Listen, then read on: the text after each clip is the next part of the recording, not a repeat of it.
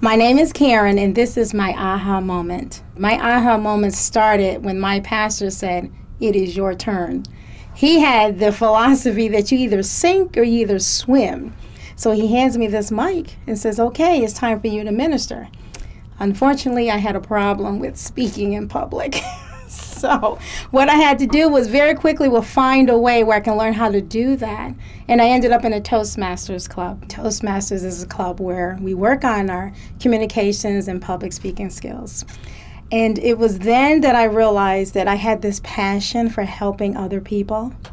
So now not only am I in Toastmasters, I have also been I have been interviewed for the Post Standard for communication education. If we all become better speakers and better communicators, I think that we can alleviate some of the problems that we have. So, not only do I do that, I am also an ordained minister.